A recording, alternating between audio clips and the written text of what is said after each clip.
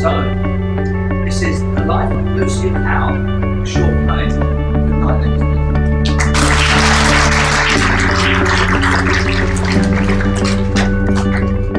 Our story begins, as stories so often do, with a protagonist.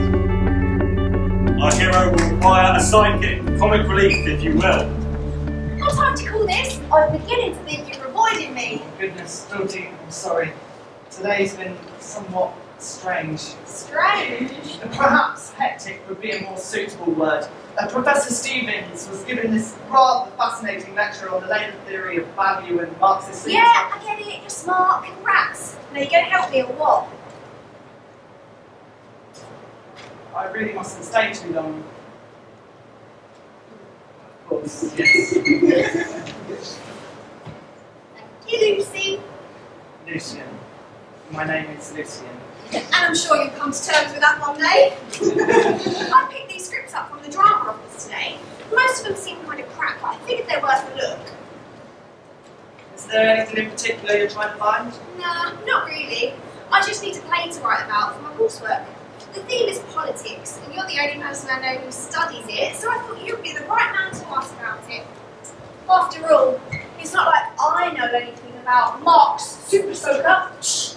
Marxist superstructures. It's basically a model of society. The middle class are called the bourgeoisie, and the Words working are class. called the proletariat. I know, I'm joking. I studied it for A level. I may not be bourgeoisie like you, but that don't mean I can't speak good.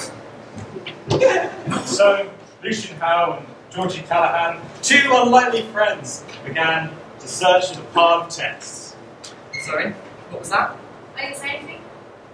Georgie always spoke in such a harsh tone of voice. Perhaps it's due to her upbringing, Lucian pondered.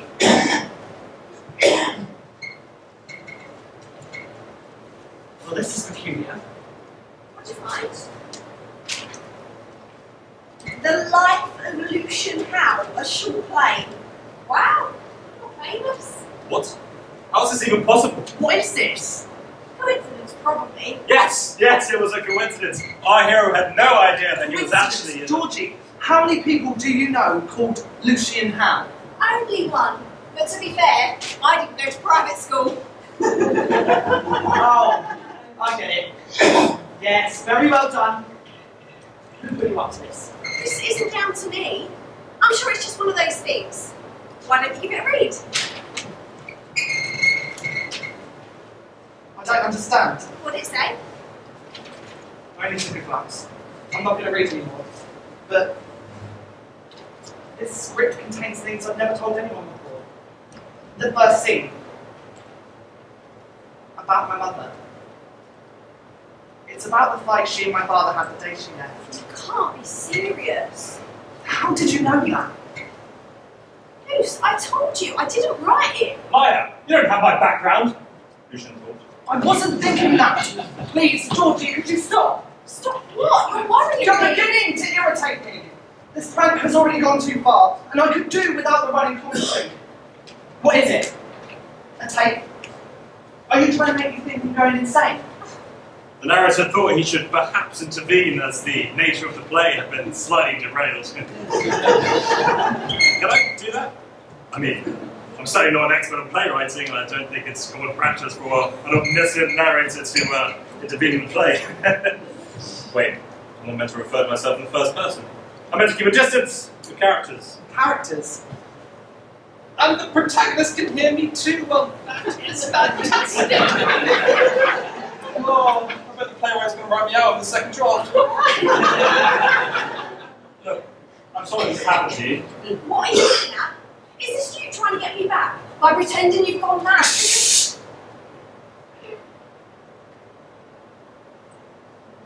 Hello, Lucian.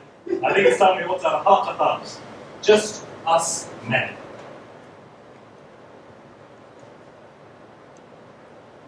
What have you done to her? Oh, don't worry, she's not in any distress. It happens to all of us in the end. Look, I know this may be difficult for you. This makes it easy for me either. I've just read my whole narrative purpose out the window. I want answers. Who are you? Wow, I thought you were smart. Well, that's what it says here in your character description. I'm here to dictate your story. I am the narrator. What story?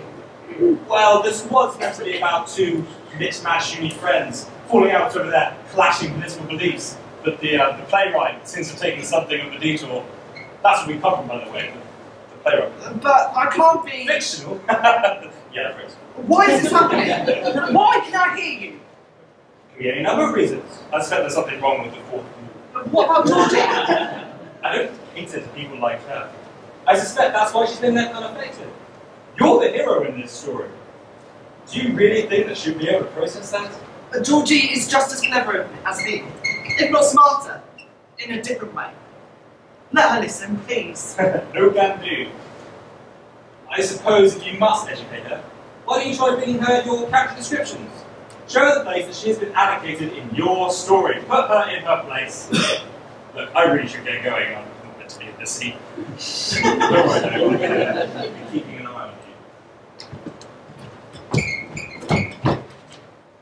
What happened? What were you talking about? You wouldn't believe me if I told you.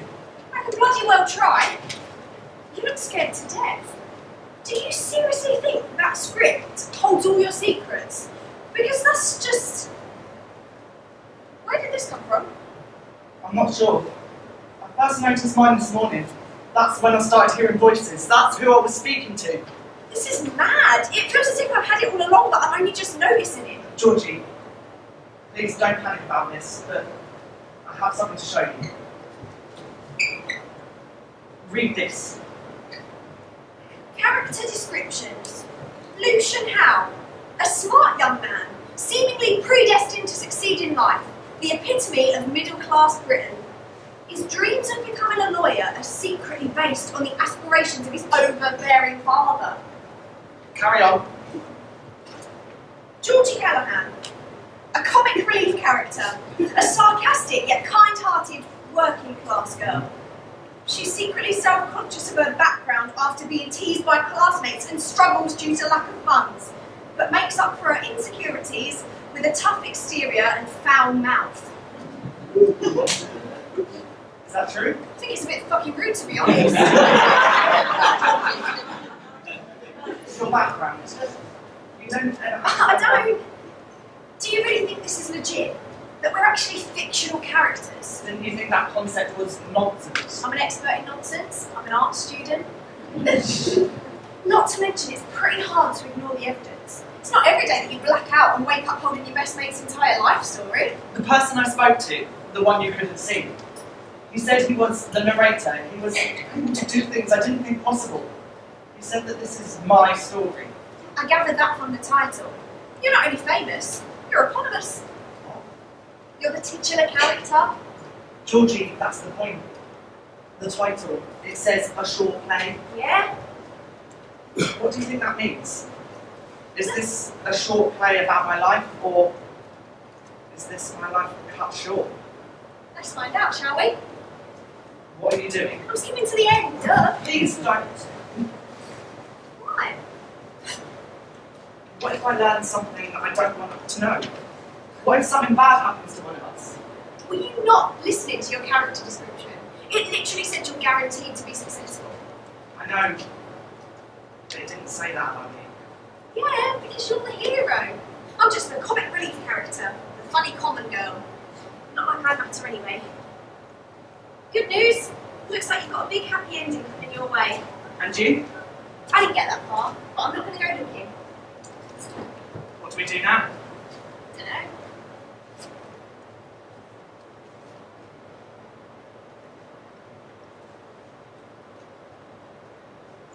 Do you think there's an audience out there right now? In some way.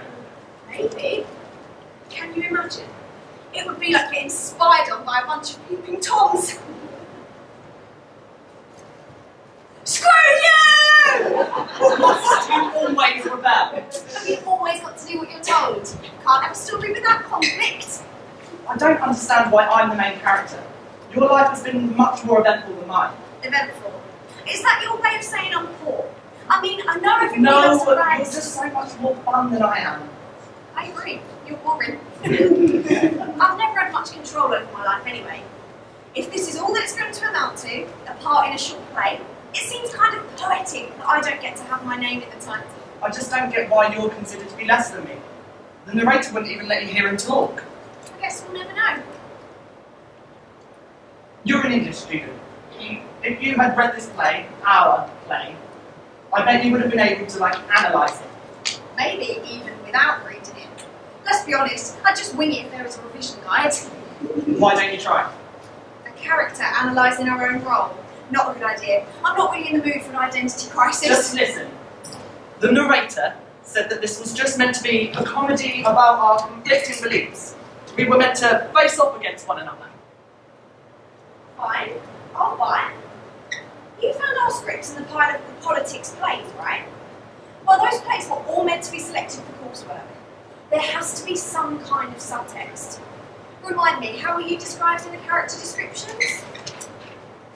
Seemingly predestined to succeed in life. The epitome of middle class Britain. I personally think it's preposterous. I think it's pretty spot on, to be honest, mate. And what was I described as? Working class, struggling. Wait, does that narrator you keep talking about have a character description? Yes, uh, the narrator, an all-knowing, all-seeing storyteller who governs the actions of the other characters. It is his main priority to keep them in their roles. I guess you could say this could have been a play about, like, the politics of society. I don't follow. You're all posh, you're smart, your path is clear, and the people in charge see you as the hero. But it isn't that way for me.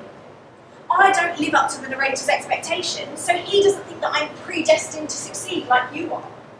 You symbolise the middle class, and I symbolise the rest. I like that idea. As if we might exist beyond these pages. Maybe there are thousands of Lucians and Georges out there at universities, sixth form colleges.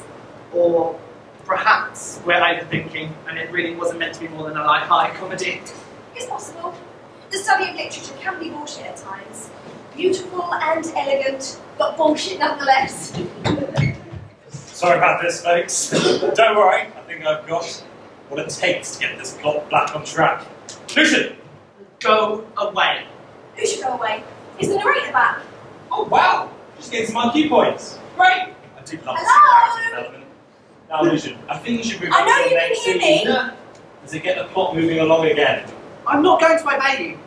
I may be fictional, but I at least want to be in charge of my own story. Besides, I'm not leaving Georgie's side.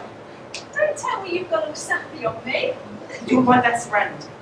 If I leave you, what's to say we'll have a scene together again? The plot may try to divide us. It might attempt attempt to portray us as enemies. I don't want to let that happen. Do you really think you have a choice? Your whole life is contained in that script. Every step written, planned, and directed. Now come with me. Come to fill your narrative purpose. But how do I know it's the proper path to take? Because it says so right there in your stage direction. That doesn't mean that it's right. What if Georgie is left behind? I'm sure things will work out, but only if you follow your lines. Trust me, it is better What's to see this out to the end. He says, I need to go with him. I need to carry on with the plot. I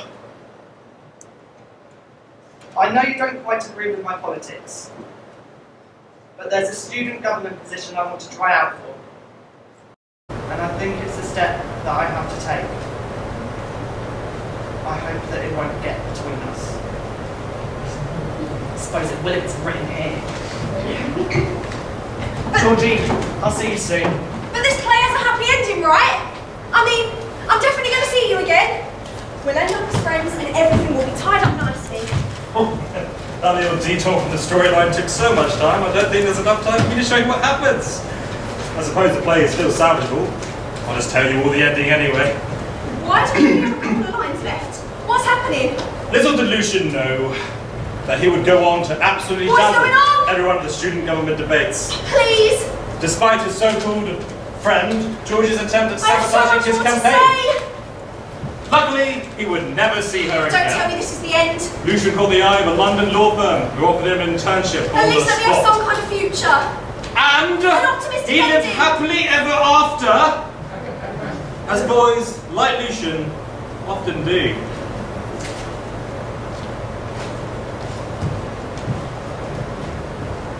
The end.